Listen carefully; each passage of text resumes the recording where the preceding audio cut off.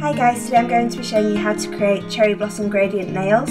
So first off you need a plastic sheet or a plastic bag to put the polish onto. First colour that I'm using is Maybelline's Colour Show in Urban Turquoise and painting that straight onto the sheet. The next polish that I'm using is Maybelline Express Finish Turquoise Lagoon and painting that as close to the first polish as I can. And lastly I'm using Sally Hansen's New Length White Tips polish and painting that on as well. I'm next using a cheap makeup sponge and dabbing it onto the sheet to pick up as much of the polish.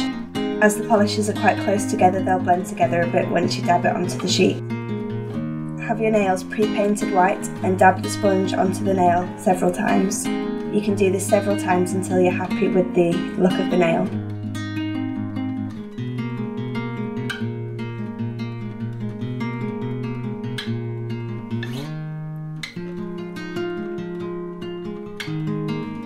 I'm using Barry M's nail pens in black to create the cherry blossom branches. The Barry M pens work just like a normal pen so you can draw straight onto the nail easily.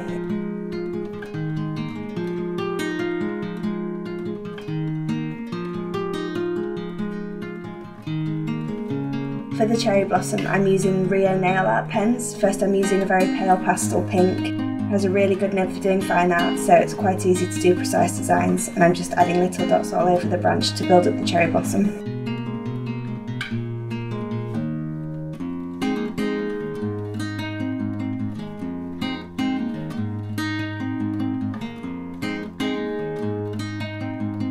Next I'm using one of the darker pinks from the Rio Nail Art pens to add in some extra detail and a bit of depth to the cherry blossom.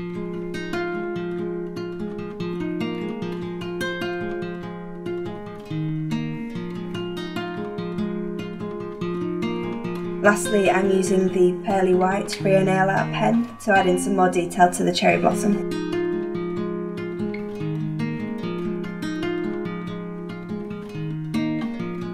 And that's your finished design. I hope you liked the video. Please give it a thumbs up if you did and please subscribe. Thank you for watching. Bye!